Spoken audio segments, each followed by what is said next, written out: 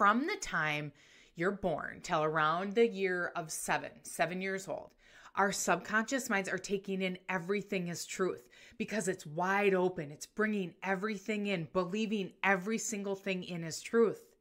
Everything you heard from your parents, your teachers, your caregivers, everything you heard, your subconscious mind took it in as truth. So if you heard, that's not for girls, that's not for boys, you're just like your father, you're just like your mother. Stop being so sensitive. Why can't you be more like Bobby? You have to work hard to make money. Rich people are jerks. All of these statements that make up your identity have been there a long time. And over the years, I've had a lot of one on one conversations with professionals like a lot, multiple a day.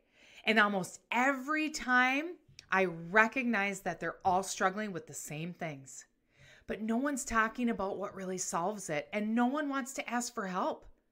They just continue to let their lives being stuck, going through the motions in a pattern of negative self talk, thinking it's too late, they're too old, there's not enough time, and they have gone as far as they can go in their career.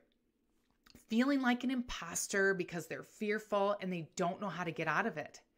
Their life just is what it is.